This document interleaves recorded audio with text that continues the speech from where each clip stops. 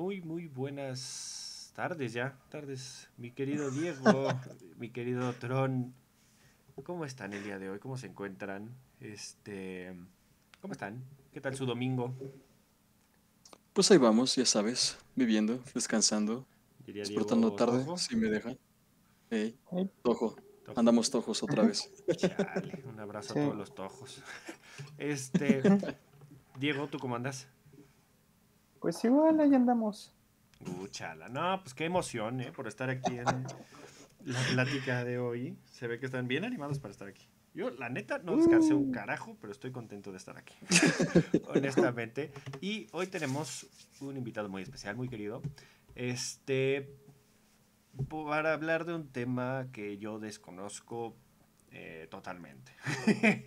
Este, vamos a saludar a la cama, a la cámara. No, la cama no, porque eso es hasta la No, noche. ah, yo dije, ya vámonos a A la mimir. cámara, Sí, es muy tentador. Mi querido Memo Velázquez nos encuentra el día de, se encuentra el día de hoy con nosotros. ¿Cómo estás, mi querido? Bienvenido seas a este espacio. ¿Cómo te encuentras? ¿Qué tal tu, tu domingo? ¿Qué tal? ¿Cómo estás? Cuéntanos. Hola Manu, hola Diego, hola Tron. Pues la verdad me encuentro muy feliz, muy entusiasmado de estar acompañándolos aquí.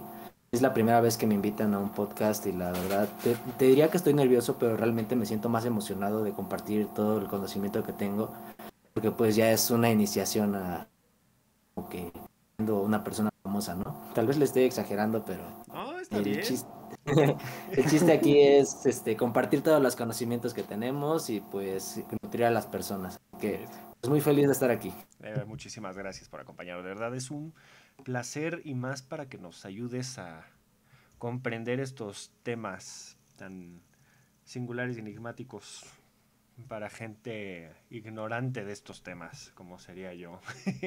Pero me emociona mucho este que tengamos voces distintas y variadas para hablar de estos temas. Porque pues y sobre todo que tengan un espacio para que puedan comunicar y darnos a conocer esto, porque no siempre se dan estos espacios, sobre todo cuando estamos comenzando, porque una cosa es invitar al doctor eminencia del postdoctorado de eh, cómo cuidar la hoja número 75 de la plantita y dices tú, ok, va, pero necesitamos también saber de las ideas nuevas que están viniendo con las nuevas generaciones. Entonces por eso agradecemos mucho que nos acompañen, que nos puedas acompañar y que nos ilumines con tu conocimiento. Entonces, cuéntanos, este, cuéntanos un poquito de por qué decidiste acercarte a estos temas, a, tu carrera, por qué te llamó la atención todo esto de la sustentabilidad. Cuéntanos, sobre todo para conocerte un poquito más. Creo que sería importante introducirnos así. Claro, gracias. Pues mira, yo cuando iba en la preparatoria siempre estuve indeciso de lo que quería estudiar y hacer de mi vida. Generalmente cuando, pues me voy a ir un poquito más atrás, cuando iba en primaria mis papás son médicos y siempre ya ves que las personas dicen voy a estudiar lo que estudiaron mis papás, que Claro. pues ya me repartieron su conocimiento y todo eso, ¿no? Entré a la secundaria y comencé a ver otras materias distintas, como muchísimo la atención a ingeniería. Estuve ahí siempre metido como que en esos temas, que era bueno en matemáticas, en cálculo. Y llegué a la prepa y fue como que un cambio completo en mi vida. Ya no era solo matemáticas, física, sino que también veías temas como biología, Ujú. veías temas, este, economía, todo eso. Ya ves todas las cosas que te ponen en la preparatoria, ¿no? Sí, claro, sí. Y pues me imagino que le pasa a mucha gente, pero llega el momento en el que estás en tu último año, último semestre de prepa y dices, ¿qué voy a estudiar? Tengo un montón de opciones o no tengo ninguna. Y justamente fue lo que me pasó. La universidad, pues prácticamente fuimos a conocer varias y en la que estoy actualmente me enamoré del campus y dije, pues voy a ver algo que esté relacionado con lo que me gusta. Y en esos últimos tiempos, pues me llamaba mucho la atención los animales y el medio ambiente. Y justamente en la universidad vi que había dos carreras, ingeniería ambiental y dirección en responsabilidad social y desarrollo sustentable. Nombre largo, ¿no? Pero Sí. pues, poquito. para resumirlo un poquito, es administración de empresas y asociaciones civiles o gobierno con un enfoque enfocado, vale, redundancia, ¿verdad? Al medio ambiente. Y fue así como dije, voy a meter a uno de los dos, pero me enfocaron mucho hacia lo que era ingeniería porque yo estuve como que muy metido en eso. Me metí, estuve un semestre, este, bueno, ¿qué te digo? Un semestre, estuve un mes dentro de la carrera en agosto y me fui saliendo para lo que sería septiembre. Eh, fue un momento difícil para mi familia porque dijeron, es que tienes una beca y tienes que mantenerla, entonces te vas a salir de la carrera, tienes que buscar como que algo relacionado o tienes que hacer algo para pues no perder el tiempo, ¿verdad? Claro. Y justamente antes de salir me dije, pues está la otra carrera que me llamaba más la atención, pero pues me enfocaron más hacia lo que sería la ingeniería. Dame chance, voy una semana a clases eh, como prueba para ver si realmente lo que están dando ahí me gusta. Y justamente, pues fue aquí con Tron, eh, lo conocí eh, en una clase, que una clase de prueba, justo en su generación, él va una arriba de mí. Y esas clases que fui tomando, la verdad dije, es que sí generan un cambio, están muy enfocados a lo que yo quiero hacer. Prácticamente tomé una semana de clases, me regresé a mi ciudad natal y hice el cambio de carrera. Afortunadamente, pues no me afectó mi beca ni nada. Pero cuando ingresé ya nuevamente en el semestre de enero, fue cuando conocí a toda la demás gente que sería ya de mi generación y cómo es que las materias que nos empezaba- empezaban a dar al inicio Ujú. iban muy enfocadas a lo que yo quería hacer.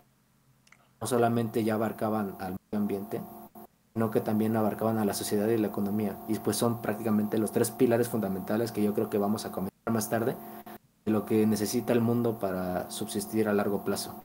Ok. Pues ya actualmente estoy ya más adelantado, sexto semestre. La verdad no me arrepiento de seguir estudiando lo que estoy haciendo. Eso es lo importante. O sea, más que nada, que disfrutes lo que estés estudiando, porque al fin y al cabo, yo siempre he dicho que la universidad y la carrera es el mejor ejemplo del masoquismo. Porque lloras, sufres, te estresas, te arrancas las greñas y te preguntan, ¿y cómo es tu carrera? ¡Ay, es padrísima! Me encanta, porque, o sea, es el mejor ejemplo del masoquismo. Pero mientras lo disfrutemos y sientas que puedes generar un cambio con ella, creo que es lo más importante. Entonces, hoy vamos a hablar de las ODS, si mi memoria no falla. Entonces, Así es. yo honestamente cuando leí el título que nos dijo mi querido Tony, vamos a hablar de las ODS, pensé de todo menos en qué podría ser, porque desconozco mucho. Y luego cuando están las cosas en siglas te empiezas a preocupar, dices, oh no, esto suena peligroso. Entonces, este, cuéntenos, acérquenos a esto, porque de verdad no tengo ni la más remota idea. Entonces, soy todo oídos ahora sí tengo mucha, mucha curiosidad. Ahí les voy a andar Perfecto, haciendo perfecto. preguntas de lo que Y son muy bienvenidas. Muy bien. Pues sí, hoy tocan. Pues primero me gustaría darte un contexto muy histórico, pero tampoco los quiero aburrir, entonces me voy a ir rapidito en este sentido. No te preocupes, yo Práct- hago la historia, entonces tú date. Prácticamente, pues digamos que termina la Segunda Guerra Mundial, empieza a crearse la Organización de las Naciones Unidas y se busca como que hasta cierto punto la paz y el desarrollo de las personas. Bueno, esto digamos que hasta cierto punto dio como un boom tecnológico a la gente y se empezó a desarrollar todo. Antiguamente digamos que no había tanto impacto en lo que sería el medio ambiente eh, debido a que las personas subsistían prácticamente con lo que tenían y no había tantas emisiones. Bueno, posteriormente ya se empezaron a generar estas emisiones, hubo más problemas, la Guerra Fría y hay un año, si no estoy mal, 1964-1968, en el que se crea, digamos que la primer conferencia o cumbre mundial, en la que se empiezan a hablar sobre los temas para el desarrollo, ¿no? El cual se llamó el Club de Roma. Y pues posterior a esto ya se fueron creando más protocolos, más temas, de de que la cumbre de Río, el protocolo de Kioto, de seguro eso muchos lo conocen, ¿no?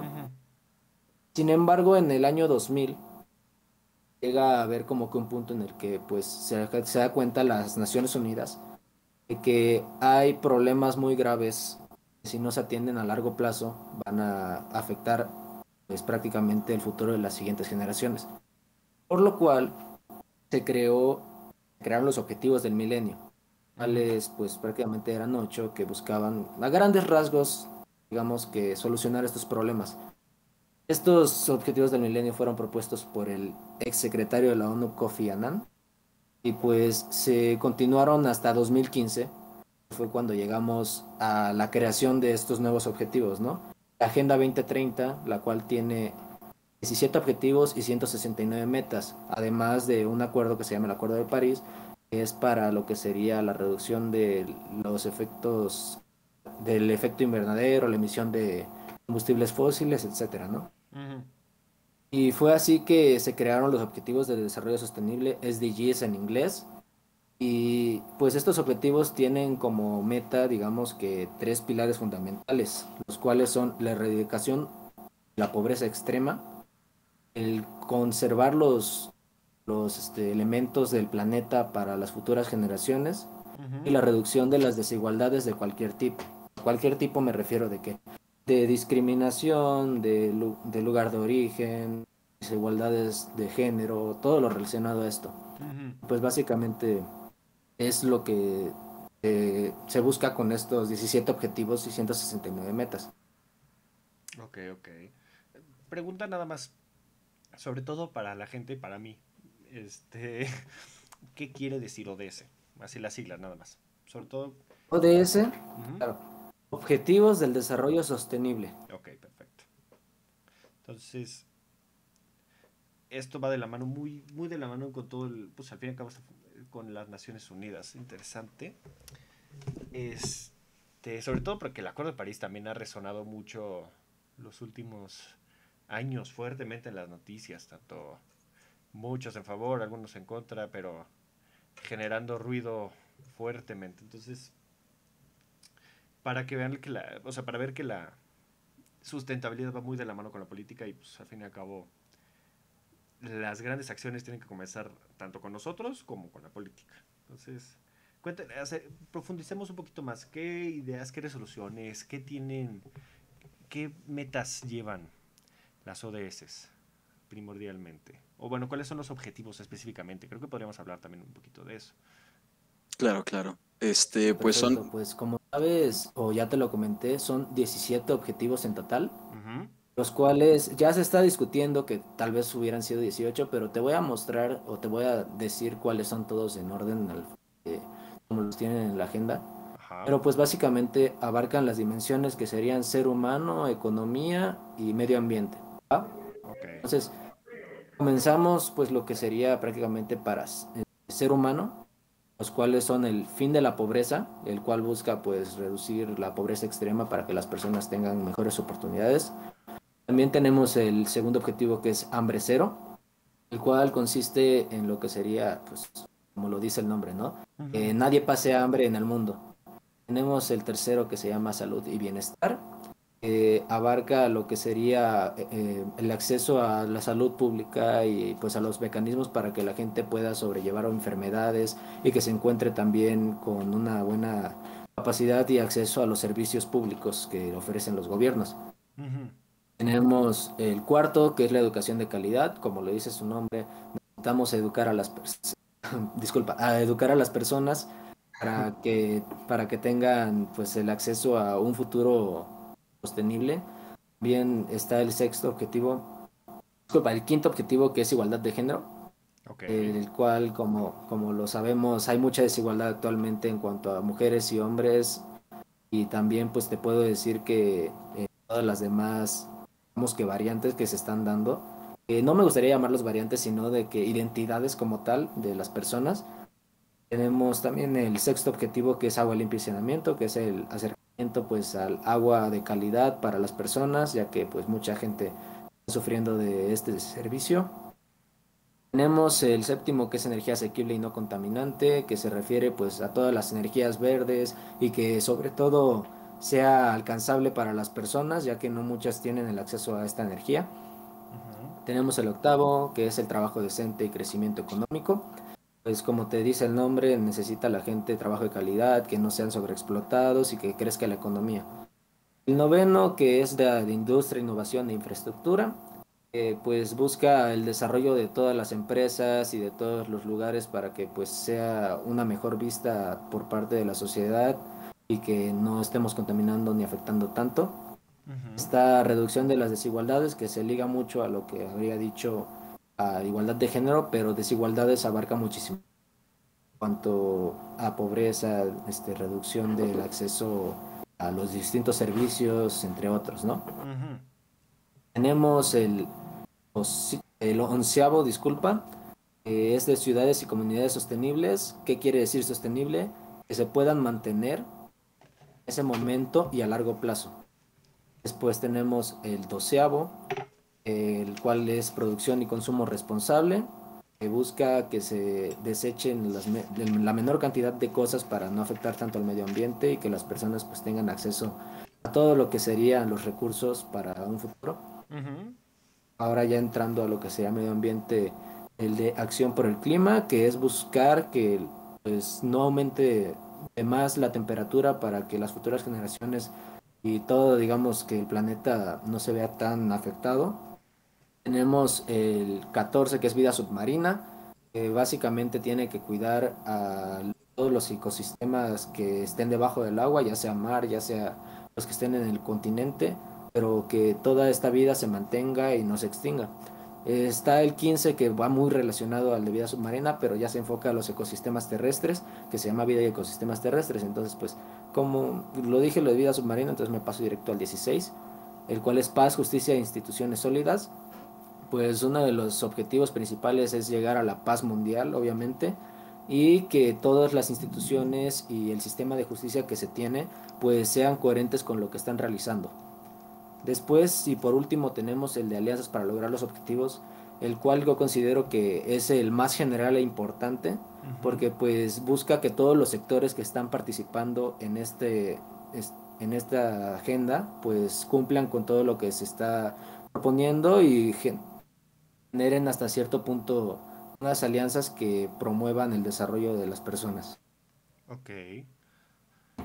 Tengo una, sobre todo, este, ahorita para también integrar a mi querido Tron, este, me llega la intriga para saber, porque pues al fin y al cabo podemos hablar de estos planes a nivel mundial, de estas ideas que pueden exigir, bueno, pueden buscar estas soluciones, pero a nivel mundial, ¿qué podríamos ver que está teniendo de, estas, de estos objetivos este, Latinoamérica?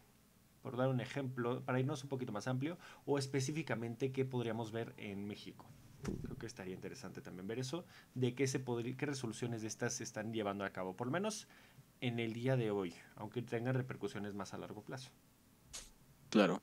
Este, pues primeramente, este, aquí en México tenemos, bueno, eh, pertenece en sí a la Organización de las Naciones Unidas, pero tenemos acá en México nuestra propia Sí, es este el Programa de las Naciones Unidas para el Desarrollo. Parecer, no. Pues en el, en el tiempo que se conecta, te podría decir que pues en México se están llevando distintos programas. Cabe decirte que para generalizar un poco y enfocarnos, hay una frase que me gusta mucho que la eh, me enseñaron justo en una clase que estoy tomando ahorita, semestre, el cual la palabra se llama glocal, global y local. Lo juntan para decir pensar global, pero actuar local. No todos podemos hacer algo individualmente por solucionar todos los problemas del mundo, pero sí podemos actuar en conjunto para solucionar todos estos problemas. Entonces, pues es como se han creado distintas organizaciones y programas para lo que sería el desarrollo de las personas. Es así como nosotros individualmente, desde tú, desde yo, desde Diego, desde Eric, podemos realizar acciones que repercutan nuestra comunidad, pero ya posteriormente irnos aliando con las demás personas, ingresar a organizaciones que estén cumpliendo con los objetivos de desarrollo sostenible, o aunque no lo hagan, que veas que están realizando algo por el planeta, algo por la sociedad o algo, algo por el desarrollo económico, sin afectar pues obviamente a terceros, ¿verdad? O si los llegan a afectar, los afecten positivamente. Y pues es así como se han creado pues distintas iniciativas, tal como en México tenemos el programa de las Naciones Unidas para el Desarrollo, pues el cual consiste en lo que sería el desarrollo como tal de las comunidades y de todas las personas que están en el país, ¿no? Eh, tiene tres ámbitos para desarrollarse, el cual sería la erradicación de la pobreza, las transformaciones estructurales a largo plazo y la construcción de la resiliencia. Si muchos de seguro no conocen el tema de resiliencia, se los explico muy brevemente. La resiliencia es la capacidad de sobrellevar todo lo que serían las transformaciones malas para lo que es- está afectando, para que posteriormente puedas desarrollarte y tener como que una adaptación a estos cambios. Entonces es como tal la adaptación a los cambios que se van presentando en tu contexto, en tu entorno. Este, y pues como te decía, como tal, no es una organización que te diga las Naciones Unidas va a desarrollar todo esto y lo va a solucionar, pero sí tenemos que trabajar en conjunto entre todos y todas para que pues estos problemas se puedan solucionar y busquemos soluciones concretas a largo plazo.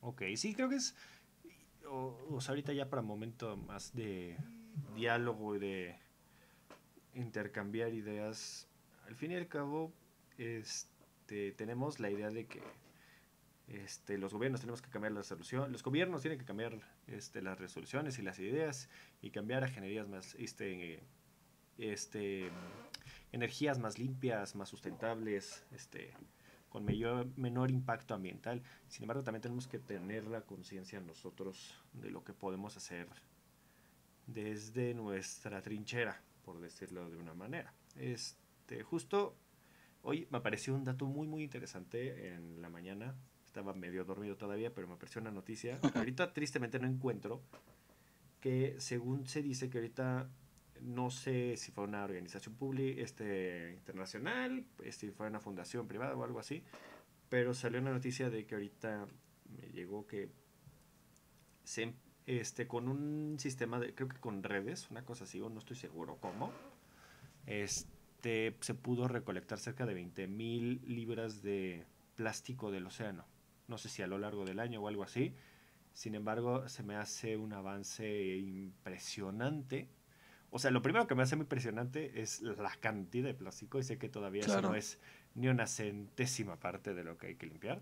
Sin embargo, está muy, muy, muy interesante ver estas pequeñas cositas que podemos ver, que podemos escuchar. Pues, al fin y al cabo, no, nadie está en medio del océano ahorita viéndolo, pero este que pueden ayudar a mejorar y pues al fin y al cabo creo que tienen que ver mucho, sobre todo esta me recordó, me acuerdo ahorita que me estás diciendo de las resoluciones, con la que me dijiste de lo de los ecosistemas, lo de la vida marina, que estabas diciéndome, porque al fin y al cabo pues si mal no tengo entendido, la mayoría del oxígeno que existe en el planeta viene del océano. Sí es. Mira, no me gustaría ser pesimista, pues la verdad aquí las personas pesimistas se van a otro lado. Me gustaría ver como que desde cierto punto una reflexión. Esta noticia que me estás diciendo, pues sí, yo la he escuchado varias veces, de que se recolecta tanto plástico ya sea en las playas, en el mar. Justamente también, me imagino que sabes que hay puntos muy profundos en el océano, 10.000 metros, 11.000 metros, ya se encontró plástico en esos... Dime. Claro, claro. El plástico es es otra pandemia prácticamente para mí. O sea, es algo que está ahí y que mucha gente no se da cuenta, porque pues nos estamos acostumbrando prácticamente tanto a este que no tomamos tantas acciones por reducir nuestro consumo. Te lo digo, inclusive yo, pues ya prácticamente para conseguir las cosas dependes mucho de, del plástico. Claro. Entonces todo lo que tenemos pues prácticamente está hecho de este. Entonces hay que pensar a gran escala y empezar a cambiar nuestros hábitos de consumo buscando, digamos que, alternativas al plástico, porque también has escuchado de plástico biodegradable. Esto la mayoría de las veces es una farsa. Mentira, sí. Este, tiene que estar bajo ciertas condiciones para que se pueda biodegradar y realmente, pues, si lo, no lo manejas, va a terminar llegando igual, ahora como dirían los ambientalistas de hace cinco años, a las narices de las tortugas, ¿no? Entonces, este, tenemos que buscar alternativas distintas, ver la manera de los hábitos de consumo que tenemos para que pues se solucione este, este problema. Porque sí, es una buena noticia escuchar que ya se hayan recolectado toneladas de, plástico en el océano, pero aunque las recolectemos y no cambiamos nuestros hábitos, van a seguir llegando más. Dicen que para 2050 prácticamente va a haber más plástico que peces en el océano, entonces pues esto es algo grave, ¿no? Porque al final nos termina afectando a nosotros como personas, a todos aquellos que disfrutamos de la playa o que consumimos productos del océano, pues nos va a terminar, digamos que afectando significativamente nuestra calidad de vida. Claro. Este, sí, o sea, hay que ser realistas con esto. Y creo que mi querido Tron quiere comentar algo al respecto porque te veo muy intrigado. Un poco inquieto. A ver, Sí, escupe. sí, es que pues, la verdad, este, pues, sí, no podemos ser pesimistas, pero es que sí hay que tener mucho en cuenta que el estilo de vida que llevamos actualmente depende en extrema cantidad del plástico. Por ejemplo, o sea, ahorita, y no me gusta admitirlo, pero pues me compré un refresco y botella de plástico y no sé qué voy a hacer con ella, la voy a botar aquí en mi cuarto para no tener que tirarla. Pero justamente es que tenemos que empezar a ver qué podemos hacer nosotros para empezar a ligarnos con los objetivos de desarrollo sostenible y poder cumplir con la Agenda 2030, que pues es básicamente salvar el planeta para ese año. Suena muy utópico, pero es que no perdamos lo que tenemos aquí en el planeta actualmente. Y un poco triste, la verdad. Eh, la cantidad de plástico que escuchas que hay diario, este, los microplásticos también, que abren pescados y están llenos de plástico. Tenemos que empezar a ver cómo lo reemplazamos y también lo podemos empezar a ligar ya una vez con los, con los episodios pasados de cambiar tus hábi- hábitos de consumo y con los objetivos de desarrollo sostenible, empezar a crear nuevas maneras de consumir, empezar a crear nuevas maneras de producir. Porque para como vamos y aunque tengamos estos increíbles objetivos, no estamos logrando grandes cambios. Sí hay cambios, pero tenemos que empujar más, tenemos que empezar a generar más. Así es. Mi querido Diego, ¿tienes algo que comentar? Te veo... Ah, No sé si estás muy dormido, si las 2 de la mañana son las 6 de la mañana para ti, o estás muy intrigado. no. O sea, está. O sea, es, es interesante el. O sea, todo es todo esto. No recuerdo en qué punto es- de mi vida escolar había, me habían platicado de esto. Ya, o sea, sí de perdido estoy. Ok. O sea, a, a mí lo que me gusta de este tema, muy o sea, más, ¿cómo decirlo? Se me llama la atención, se me hace llamativo esto de las ODS.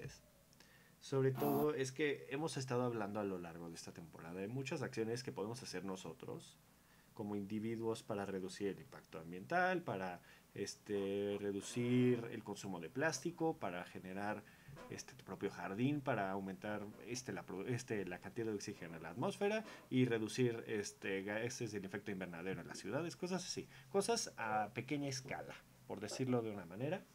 Y lo que está interesante ver es aquí una resolución tal vez no respetada del todo, pero sí aprobada por un consenso a un nivel de macroconciencia, por decirlo de una manera.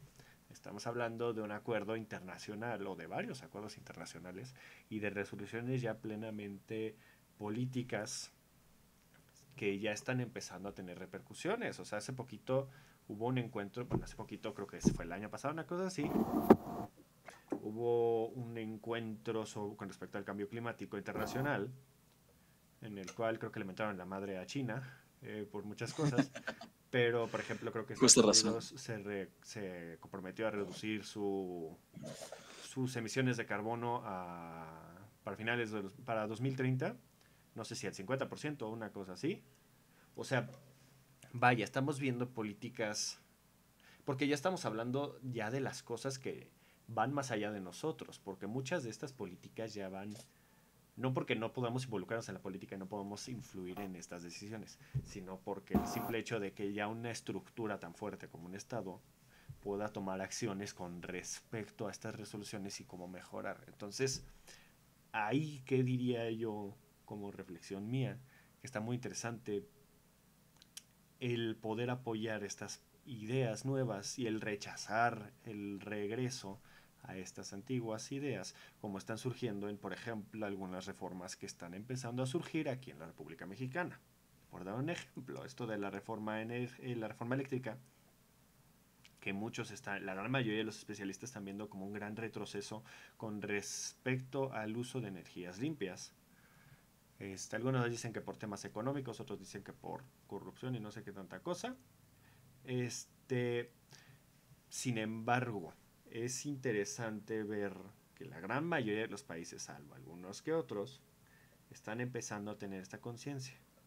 Ahora, Claro.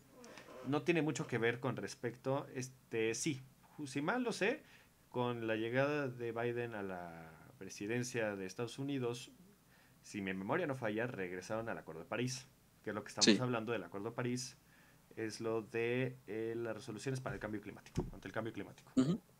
Este, ahora, eh, enfocándonos un poquito a esto de las energías limpias, que si mal no recuerdo también es un punto de las ODS. Sí. Este. Entran en tres puntos, ajá. ¿Cuáles serían las más óptimas? Y creo que está interesante eso. Uh, ok. es un tema. La pregunta correcta justo ahorita. Sí. Tuve al inicio de la semana una plática que hablaban sobre las energías limpias y justo la reforma energética que se estaba aplicando actualmente. Y también yo, yo me saqué de onda cuando me lo dijeron, no te miento. Yo dije, no, pues energía solar, energía eólica, pero hay algo que se llama eficiencia energética. Y esta, esta eficiencia energética no te la da ninguna otra energía actual limpia, como tal la solar, la eólica, la hidráulica, la geotérmica, tal como te la dan las energías fósiles. Claro. Sin embargo, entre las energías fósiles, pues ya sabes que tenemos el carbón, el petróleo, todos los derivados, pero también tenemos el gas natural. El gas natural, claro. El cual nos explicaron que sí puede llegar a ser contaminante, pero si lo manejas de cierta manera muy bien, puede llegar a considerarse una energía limpia. Claro. Y con, con las herramientas que tenemos actualmente a nivel mundial, realmente es la mejor alternativa en lo que desarrollamos nuevas energías o mejoramos las que tenemos para producirla eh, como tal y no contaminar tanto. Entonces, pues el gas natural es la mejor alternativa actual que tenemos, si la manejamos correctamente, para el desarrollo eh, del país. Ok, es que me vino esta pregunta a la mente porque, por lo que tengo entendido, una de las energías que menor desgaste ambiental genera, si se mantiene bajo un control, es la energía, es la producción de energía nuclear. Porque al fin y al cabo el residuo es prácticamente nulo si no sucede algún accidente nuclear. Entonces, es, o sea, yo no soy un... Me gustaría escuchar su opinión, viene de gente que está estudiando sobre la sustentabilidad y todo de la energía nuclear, porque yo personalmente no soy alguien que está en contra del uso de la energía nuclear. Sobre todo por, hablando de esto, de la generación de residuos dañinos, pero pues al fin y al cabo todo genera un residuo. La cosa luego es la radiación, pero ese es un punto y aparte. Entonces, pequeñitos detalles. Me gustaría escuchar su opinión con respecto a esto de la energía nuclear. Primero iniciando con Tron, creo que me gustaría escuchar la de Tron y luego la de mi querido Memo. Muy bien, muy bien. Pues justamente si es de las que menos contaminación causan, si se tiene una buena gestión, todo sale perfecto, se genera energía, este, tienes plantas que generan empleos, tiene su impacto social, su impacto económico. Pero como hemos visto a través de la historia con algunos ejemplos que ya han sucedido, Nemo no me escucha, por eso se salió. Sí. Sí, pero continuemos. Este. pues simplemente Hiroshima y. Este, ¿Cómo se me olvidó el nombre del otro lugar? Nagasaki y el que está en Rusia, Ciudad Rusia, Chernobyl. sí. Un pequeño error del factor humano en estas plantas enormes con tanto poder y de elementos tan complicados de manejar pueden llevar a catástrofes que no solamente nos afectan a nosotros, que ya saben a mí los humanos, sino que afectan los ecosistemas, afectan las especies que viven ahí. Eh, todo, o sea, todo se va a volar muy rápido si hay un pequeño fallo en eso. Pero justamente en este el objetivo de desarrollo sostenible de eh, la energía asequible y de la innovación. Se está buscando poder generar energía a través de fisión nuclear, que esa sería, que no tendría casi nada de desechos y generaría la, energía suficiente para ciudades con como dos plantas, que no recuerdo bien, pero es como muy poca, muy poca instalación y, una, y un eh, rendimiento exponencialmente increíble. O sea, pues luego podríamos hacer un, un, este, un podcast solamente eso con Lenin de fisión nuclear porque ese tema me interesa muchísimo. Es todo un tema, Este, mi segunda pregunta. Este, como lo que pasó en la Una Verde en Veracruz, en menor, claro, claro. Sí, o sea, lo que yo veo con esto, sin embargo, eh, o sea, no me acuerdo exactamente cuando sucedió lo de Laguna Verde Veracruz. Sin embargo, puedo decir, por ejemplo, que lo de Chernobyl fue hace más de 50 años. Ha avanzado la energía, el estudio de la energía nuclear para poder desarrollarla de una manera más eficiente y podría ser este el ejemplo con la fisión nuclear. Sí, justamente esta, la fisión nuclear es el siguiente paso, es lo que se está buscando evolucionar a, pero como la gente pues le tiene miedo y con justa razón le tiene miedo a la energía nuclear, estos programas están viendo muy... Pero es que... alterados. y me gustaría este, hablar de esto. O sea, al fin y al cabo, este, cualquier energía puede ser un pedote. Sí si la ves en un problema. O sea, podemos tomar el ejemplo de lo que sucedió tristemente hace casi tres años en este Tlahuelilpan, acá en Hidalgo, donde explotó este, un, dunco, un, una tubería de gasolina en la cual salieron cientos de personas fallecidas, trágicamente. Sin embargo, podemos ver esto también en grandes ejemplos. También explosiones de gas ha habido en toda la Ciudad de México y en prácticamente todo el país. Yo lo que digo es que, o sea, lo que he escuchado yo es que la mejor solución para esto de las energías no es enfocarte en una, sino campechanearle con las energías. Corríjanme si estoy mal. Estás en todo lo correcto, hermano. Pues sí, justamente pues las pues lo que tenemos ahorita se está viendo mucho en México, Estados Unidos, es este la aplicación de dos sistemas de energía, que es este la energía es que proviene de energías no renovables, que es la que más se utiliza, pero complementarla con energía solar o eólica. Y creo que este, pues ya tenemos varias plantas aquí solares. Y ahí estoy viendo muchísimas empresas, pequeñas empresas que están empezando a invertir en poner ellos sus eh, energías solares o que se dedican a vender los paneles e instalarlos. Y eh, justamente es este tener, pues, tus... Ay, dame tantito, se me fue la palabra Tener tus recursos divididos en varias partes para poder seguir generando electricidad. Si te falla una, tienes el respaldo de otra, pero seguir teniendo varias formas de generar energía.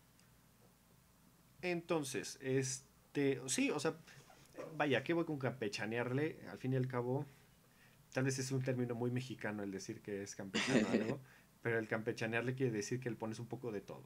Entonces. Así es. Ahora, hablando del término campechaneándole ¿cuáles pondrían ustedes como las tres? Pongamos top 5. Bueno, tres. Pongámosle tres. Top 3 de las tres más óptimas para hacer un campechaneo de energías sustentables. Se de acuerdo con su uh. opinión de ustedes dos. Te voy a decir la verdad. Depende de la zona donde estés. Puedes campechanearle en el desierto y en el desierto no vas a poder tener energía hidráulica pero puedes tener energía solar, puedes tener tal vez energía eólica y también energía geotérmica, dependiendo si hay un volcán cerca. Ok, qué puedes, respuesta. Puedes estar, puedes estar en una zona costera y tal vez la que más te convenga pues sea la energía de las mareas, de que genera mediante turbinas este, lo que sería la energía que se pone en el mar. Entonces te digo, depende muchísimo de la zona en donde estés. Ok. Así es. Muy buena respuesta. O sea, al fin y al cabo, me metí mucho en lo de las energías, pero al fin y al cabo es un tema que me llama mucho la atención.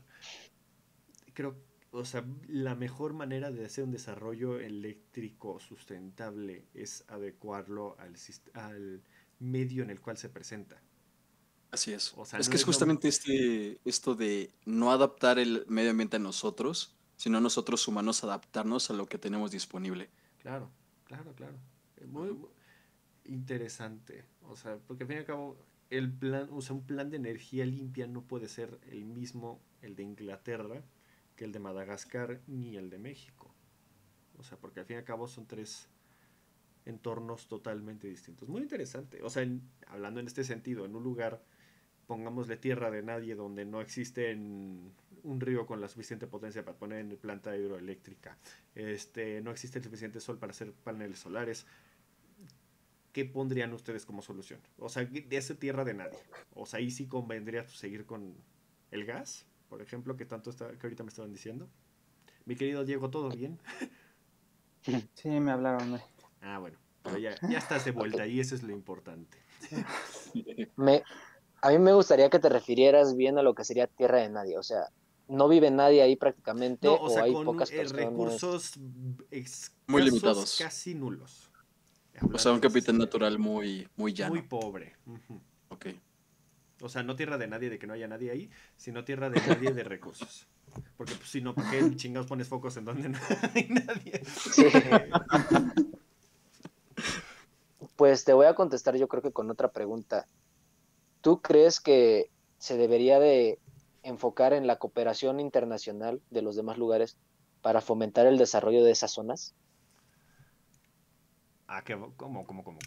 Replantéame la pregunta. O sea, o dices tier- tierra de nadie, de que no tienen casi recursos, pongamos, digamos que ejemplo, algún país, tú pon Haití, ¿no? Que muchos han escuchado que tienen como que pocos recursos y todo eso, y pues prácticamente lo único que utilizan es petróleo, gas natural y todo esto, ¿no?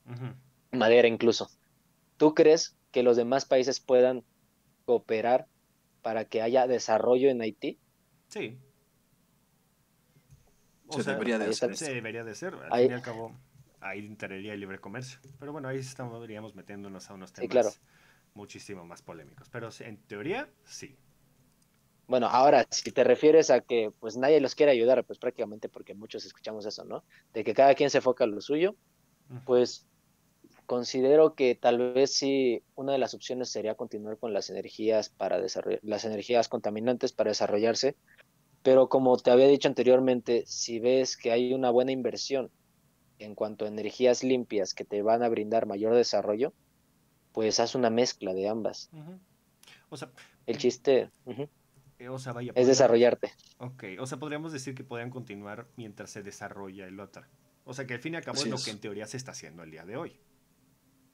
Que estamos siguiendo trabajando en ellas. En teoría, Ah, ok, ok. pongámosle En las, teoría, sí. este, este, las comillas. Comillas. este, en teoría de que estamos trabajando todavía con este uso, aunque sí se ha reducido, por lo que tengo entendido.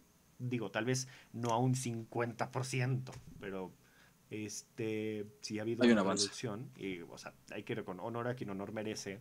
Tal vez no es lo que necesitamos, pero sí es un avance. Este, em, verlo como un proyecto a largo plazo. Fíjate, Lo que alguna vez abordamos aquí, este, de pensarlo como un proyecto a largo plazo. O al fin y al cabo, también podría servir de que pues, tal vez en estas zonas catastróficas en donde nadie quiere ayudar y nadie los quiere y los ven feo y les sacan la lengua, este, el hecho de que las demás naciones estén empleando este tipo de energías limpias podría ser un amortiguador para que esta, en el proceso en el que logra liberarla, amortigue el putazo ambiental que está dando. Ok, ok, ok. Pues, este sí, o sea, ya que ya se está viendo que las otras naciones están haciendo sus propios avances en las energías renovables, puede ayudar a mitigar un poco el- la generación de energía en sea, pa- países en vías de desarrollo. Sin embargo, pues las, pues es que este generar energía en las, en los países de vías de desarrollo está siendo muy impactante para la Tierra porque todos queremos llegar a vivir como Estados Unidos o lograr vivir como la gente vive en Europa. Para generar ese tipo de electricidad y ese tipo de desarrollo se desgasta mucho al planeta. Entonces lo que se tendría que hacer es pues ya literal dejar de hacernos güeyes, agarrar entre todos y ayudarnos entre todos. Este, justamente este, el ODS 17 de Alianzas para lograr objetivos. Sabemos que podemos, que otros países pueden ayudar, pueden este, proporcionar ayuda, conocimientos, recursos a otros países. Sabemos que es posible, sin embargo no se hace. Entonces, como digo, dejar de hacernos güeyes y empezar a ayudarnos entre todos. Ok. Este, me gustaría, estamos ahorita ya me metí en casos muy fatalistas y muy hipotéticos e incluso utópicos. Sin embargo, quería eh, preguntar un poquito de esto. Sin embargo, creo que podríamos meternos ahora al lado positivo en este sentido. ¿A qué voy con esto? De estas resoluciones que estamos hablando de las ODS, me gustaría, como ya para acercarnos un poquito más a las conclusiones y todo, qué objetivos tal vez no se han concretado completamente, pero se ha progresado. Me gustaría abordar un poquito más de esto para verlo un poquito el vaso lleno con respecto al tema. No digo Claro. necesariamente que ah, ya terminamos con la resolución, con el objetivo número 4. No, pero ¿qué se ha hecho? ¿Qué que hemos progresado desde que se plantearon estas al día de hoy, 17 de octubre de 2021. Te voy a decir algo. Pues. Eh, los objetivos del desarrollo sostenible se estaban cumpliendo hasta cierto punto antes de la pandemia. Ok, Pero llegando a la pandemia, hay un artículo, hay una noticia que leí que prácticamente lo que serían las metas para llegar a 2030 se nos movieron a, a lo que serían actualmente las metas para llegar al año 2096. Madre. O sea, hubo un retroceso horrible en este sentido debido justo a la pandemia. Entonces, todo lo que se había progresado en reducción de desigualdades, en progreso de energías, en contaminación, en to- todos estos aspectos que te mencioné desde el inicio de esta plática, se retrasaron para lo que sería el casi el triple de tiempo de lo que se tenía previsto. No, que te digo triple, o sea, eran 15 años. Bueno, o sea, prácticamente se hizo al 300% lo que se estaba buscando. Entonces, sí, es una noticia muy fea, pero pues todo lo que se había progresado prácticamente se, se fue al carajo. Ok. Uf, Hay luz Eso no al lo final. sabía. El diagnóstico. Hay luz al final. Es un poquito crudo. Sin embargo, que ahora, ya que vimos este diagnóstico un poquito crudo, ¿qué podríamos hacer para reducir este lapso de tiempo? Que estaría cool preguntar esto. Solucionemos. O sea, porque al fin y al cabo siempre somos. Yo soy muy fatalista, Diego es muy fatalista. y solo te ríes. La humanidad es muy fatalista, nos gusta ver las malas noticias, por mucho que nos depriman. Ya vimos el análisis, ya vimos el diagnóstico, ya nos dijeron, vas a amputar, te van a amputar la pierna. Va. ¿Qué vamos a hacer para salir adelante? ¿Qué podemos hacer para que en vez de que me amputen hasta el muslo, me amputen hasta la rodilla? ¿Qué podemos hacer? Sé que así no funciona la medicina, pero eso. Claro, no, sí, sí, tiene sentido, tiene sentido. Pues, pues sí, como yo lo dije antes, este, es literal, bueno, lo voy a decir más coloquialmente y con mucho vocabulario mexicano, chingarle. Tenemos que poner las pilas, tenemos que empezar a agarrar otra vez este camino que ya estábamos, que ya teníamos en camino desde, desde 1970 y tantos, que se estaba logrando, todo iba perfecto 2015, es retomar donde nos quedamos y ponerle otra vez todo nuestro empeño. Porque, es- pues, fueron dos años que nos echaron para atrás un progreso de más de 10 que ya se tenía previsto que se iban a poder alcanzar mínimo como un 50% de las metas que teníamos ya previstas para la Agenda 2030. Uf. Ahí sí me deprimí un poquito. pues es otra vez este lograr conseguir todo lo que ya teníamos e ir por más. O sea, no podemos detenernos. Si nos detenemos, nos vamos a quedar sin naturaleza, nos quedamos sin naturaleza, adiós humanidad. Bueno, no nos quedamos sin naturaleza porque ella va a seguir, nos va a dejar a nosotros atrás. Entonces lo que tenemos que hacer es nosotros volver a poner todo nuestro empeño e incluso ir más allá. Este, justamente el podcast es algo importante porque es dar conciencia, dar conocimiento, poner a la gente en contexto porque es importante esto y cómo podemos lograr conseguir las metas de nuevo. Ahí sí me deprimí. Eh, es duro, pues al fin y al cabo. Sí. la- iba, a, decir un albur, pero mejor me lo. Este. eh, vaya. Estas cosas llegan. O sea, pues la realidad es dura. Pero sin embargo, tenemos que agarrarnos los tanates y echarle ganas. sí. No queda de otra. Mi querido Diego, ¿quieres preguntar algo más? O sea, y me metí yo más en lo político y en esto, pero Ah, es lo que me gusta pues- a mí. Tú, desde tu ámbito de plantitas bonitas y bellas zarzamoras. eh, pues, mm, creo que no. Creo que está muy claro la situación en la que nos encontramos y lo que se tiene que hacer para recuperar el tiempo. Es impresionante que dos años Que se echen a como perder el 20, trabajo de... Y también para Bueno, el sí. planeta. Pero bueno, por lo que vemos ahora. Ay,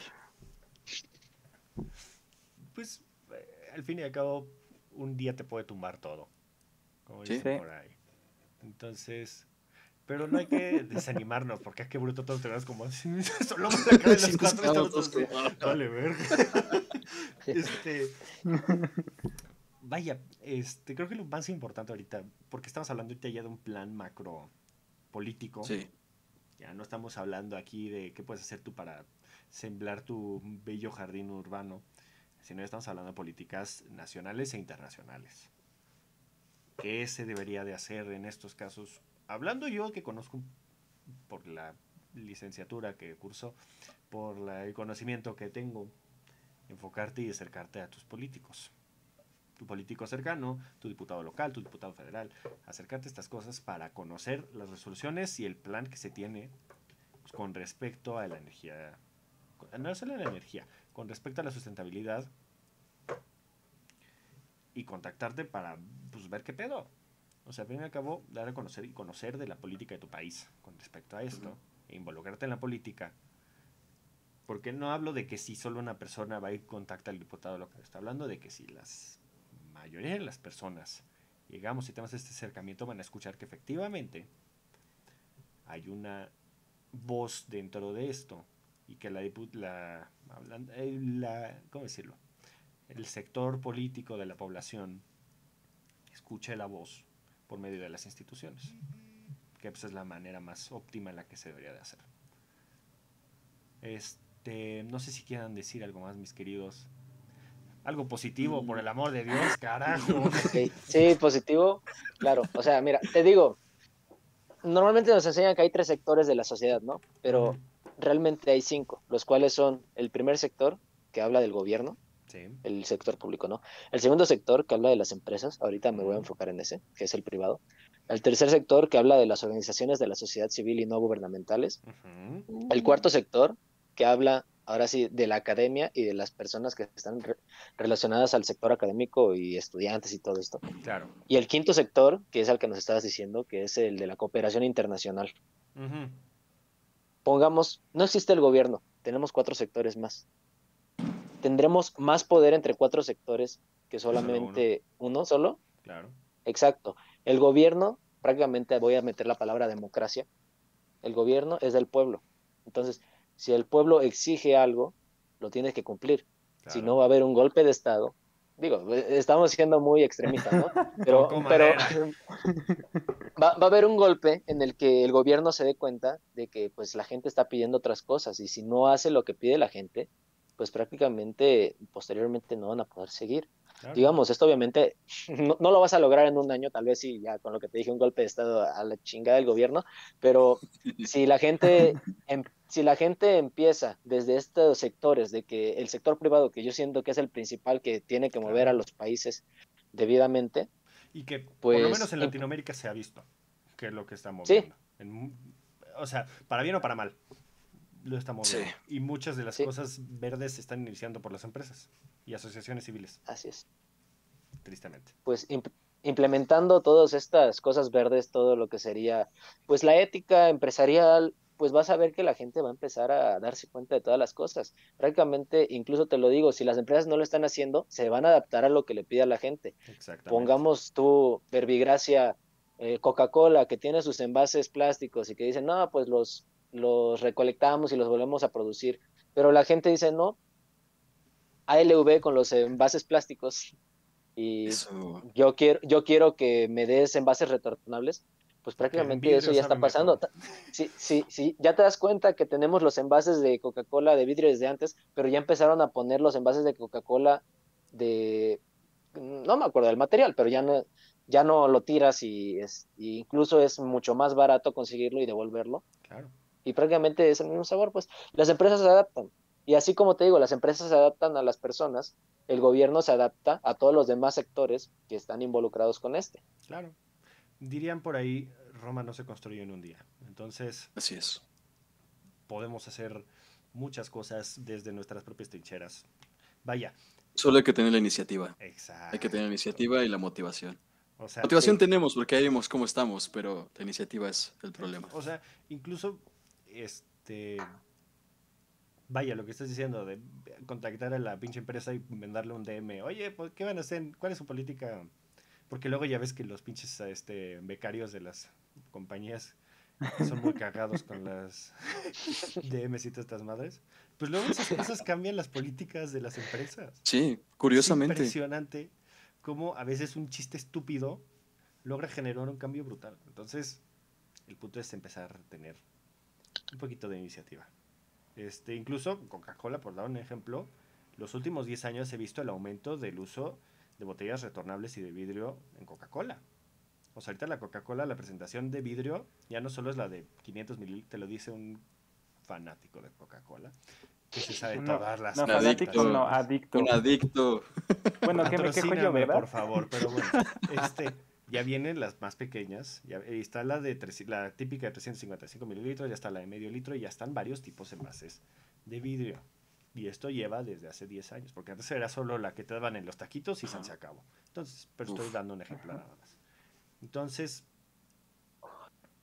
las ODS es que no puedo hacer la pregunta tan estúpida ¿son buenas o malas? No. Las ODS este, en este proyecto a largo plazo, este, para terminar, creo que es esta pregunta, está interesante. ¿Las Ah, a ODS deben estar escritas en piedra o deben ser flexibles a los cambios que están sucediendo en el país? Uh. Del mundo, perdón. Flexible. Sí, Flexibilidad. Ante todo. completa y total. Siempre. Siempre que está dispuesto cambio. sí. Y como te lo digo, buscan solucionar problemas, por lo cual los problemas principales que se encuentran en el país son los que se tienen que atender. Maravillosa respuesta. Mi querido Diego, no sé si quieres aportar algo más. Ay. Tenía una pregunta, pero se me olvidó. Mijo, libretita. Se andaba albureando cuando dijimos lo de flexibilidad. libretita. Por eso no se me olvidan las preguntas. Pero bueno, este, no sé si quieren decir algo más, mi querido Memo, mi querido Tron, antes de despedirnos con respecto al tema. Mm, Pues yo sí, lo quería hacer como comentario de tu pregunta anterior, pero lo, lo voy a adaptar para las personas que lo están escuchando o viendo. Ujú. Si sabemos que algo está mal, hay que cambiar esa manera en lo que lo hacemos. Y si no sabemos si eso está mal, tenemos que investigar si esas cosas afectan hasta cierto punto algo. Por lo cual el cambio depende de nosotros. Maravilloso, maravilloso, maravilloso. Siempre investiguen y corroboren lo que investigan, porque no es muy fácil es. encontrar una página que apoya tu... la apoya el primer pensamiento que te viene a la mente, sin embargo, investiguemos. Es lo importante. hay que investigar. Exactamente. Y sí, de nuevo, lo que les decía, iniciativa. Y, y, pues aprendan, edúquense. Identifiquen si algo está bien o mal, como dice Memo, y tengan la iniciativa de cambiarlo. No solamente es como de, ah, está mal, ok. No, hay que cambiar las cosas. Hay que ver qué hacer para mejorar y hacerlo. Maravilloso. Creo que lo padre de este tema, ya para cerrar y despedirnos bien, lo padre que está de esto de las ODS es que podríamos profundizar punto por punto, o sea, podríamos hacer un capítulo por punto, por lo que he visto. Sí, Literal. estaría interesante. Estaría interesante. Sin embargo, lo que está padre de este es que ya dejamos un lado un poquito la idea a pequeña escala de los cambios pequeños que podemos hacer, de plantar tu hortaliza y tonterías, bueno, no tonterías, cosas así, a algo más grande, más resoluciones internacionales, más... Y además este, pudimos entrar no solo a un tema en particular, sino abordamos ahorita energías sustentables, este, la imagen, la huella de plástico en el mundo, este, la política internacional sustentable, las energías, las reformas incluso, este, los planes internacionales, o sea, eh, lo que estuvo, me gustó y agradezco mucho que nos hayan acompañado, que me nos hayas acompañado, mi querido Memo, este, es que fue una plática muy nutrida de muchos temas, los cuales podríamos profundizar muchísimo más, la, este, pero me quedo satisfecho con lo que hemos visto el día de hoy. Mi querido Diego, ya nadie cosa? te llama, nadie te, nadie te solicita ahora. No sé si quieres comentar algo más, ya para Ah, cerrar. pues ya me acordé lo que iba a decir. Dale, Uh, hecha, hecha. Este, escúpelo. que acuérdense que lo, lo más difícil es dar el primer paso. Ya una vez dado, Lo demás es por inercia, ajá, irónicamente. Entonces, Mi querido Memo, de verdad, ha sido un deleite tenerte aquí. Nos has iluminado y nos has abierto el panorama de una manera impresionante. Las puertas aquí están abiertas para ti siempre que gustes. De verdad, muchísimas gracias. Este, ha sido un placer tenerte aquí. Y lo digo de todo corazón y con toda la sinceridad del mundo.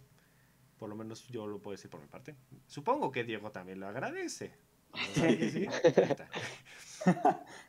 Tus modales, dijo. Al contrario, lo agradezco yo a ustedes por, por la invitación. La verdad, estoy muy feliz de haber estado aquí con ustedes y les deseo todo el éxito del mundo en todo lo que les venga por delante. Muchísimas gracias. Gracias, gracias. Agradecemos tus buenos deseos y también este, deseamos lo mejor a ti. Entonces, este, muchísimas gracias a todos los que nos escuchan, nos acompañan con tan buen capítulo y con todos los capítulos en general. Gracias a los nuevos seguidores, porque he visto que llegaron, llegó nuevo seguidor.